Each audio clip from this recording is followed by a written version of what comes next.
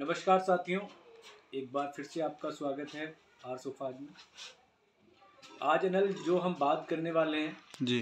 क्योंकि बहुत ज़्यादा जो डिमांड आती है कि सर सिंगल कलर में क्योंकि डबल कलर में तो अक्सर बनते ही रहते हैं सिंगल कलर का ऑप्शन बहुत कम आता है हमारे पास। जी। आ, जो भी हमारे पास हमारे सोफे में आते हैं जी। तो उसमें हमारे पास काफ़ी दिनों बाद एक सिंगल कलर में आया।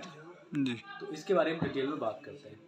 पहले तो जो कपड़ा लगा है उसके बारे में हम बता देते हैं। जी। इसमें हॉलैंड का जो है कोको कोला कलर यूज़ किया है। जी। और इसकी खास बात यही है कि देखिए अगर अगर सिंगल में रहते हैं पर्सनली मैं सजेस्ट करूँगा यही कि आप जब भी कोई सोफ़ा बनवाते हो तो खास तौर से ये थोड़ा ध्यान देने वाली बात है कि बहुत ज़्यादा ये लाइट वेट रहता है कपड़ा। जी। तो कोशिश करिए अगर आप ये कपड़ा लेते हैं तो डबल अस्तर में ज़रूर सिलाई करवाइएगा। जी जी। उसके लिए इसलिए रिकमेंड करता हूँ क्योंकि कपड़ा पतले होने की वजह से इसमें कंप्लेन आने के चांसेस रहते हैं।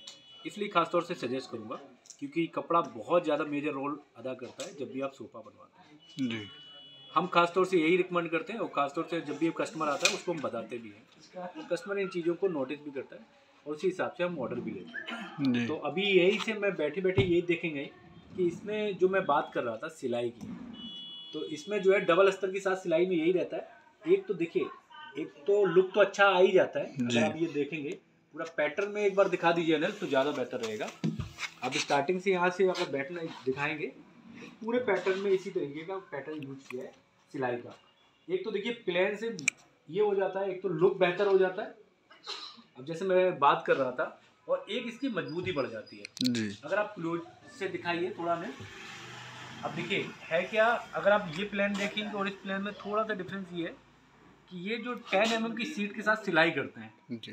तो उससे क्या है एक तो कई बार यूज़ होते होते कपड़ा लूज हो जाता है तो उससे कई बार सिलवटे पड़ते हैं। एक तो ये टेन एम की सीट के साथ ये रहता है या टेन एम में करा सकते हैं या फिर एक इंची में करा सकते हैं। जी। एक इंची की सॉफ्टी आती है उसमें भी काफ़ी अच्छा लुक आ जाता है तो वो करा सकते हैं।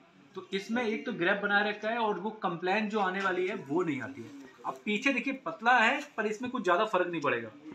अब मेन जो है आपका सीट जिस पे आप बैठते हैं कंप्लेन में नाइन्टी परसेंट कंप्लेन आपकी सीट पे आती है।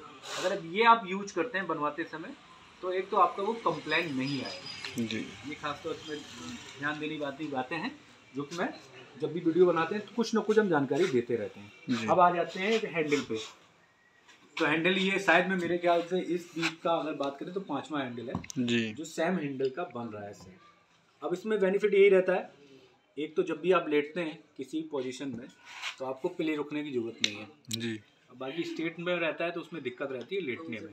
जी इसमें लेटने में बहुत आसानी से आप इस तरीके से लेट सकते हैं और आपको पिलो लगाने की ज़रूरत नहीं है। बहुत आसान रहता है इस पर देखने में। और दूसरी चीज़ देखिए अगर आप जब स्ट्रेट रहता है ऊपर वाला सरफेस तो उसमें कोई भी लोग खाने पीने की चीज़ें रख देते हैं तो वो भी नहीं रख पाता है। तो ये भी खास तौर से ध्यान देने वाली चीज़ें हैं जब भी आप कोई भी कस्टमाइज सोफ़ा बनवाते हैं खासतौर से लिविंग रूम के लिए। जी। अब ये तो मैंने आपको बता दी इसके साथ आप देखेंगे पिलो पूरा सेमेट्री एक ही सिंगल कलर का है। ज़्यादा इसमें कुछ खास वर्क है नहीं पर क्योंकि सिंगल कलर की थी तो इसलिए मैंने मारा है। ये आपका जो एरिया है आपका छः फिट है। अगर आप यहाँ से लेके अब लास्ट तक हैंडल की बात करेंगे ये आपका दस फिट एरिया में है। तो छः बाई दस का ये बना हुआ है। अगर आप सीटिंग की पोजीशन की अगर बात करें तो देखिए दो लोग तो आपका स्टैंडर्ड आपका काउच वाले एरिया में बैठ जाएँगे। ठीक है?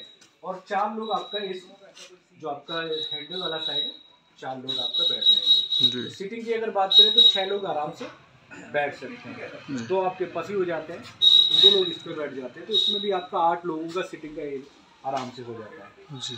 टेबल की बात करें तो टेबल आपका दो बाई तीन का टेबल है। जी। तो इसमें हम इसलिए रह जाते हैं क्योंकि देखिए सामने कई बार क्या होता है आपका उस साइड आपका मान लीजिए गैलरी है तो आपके उस साइड आपका दोनों पफी आ जाएँगे।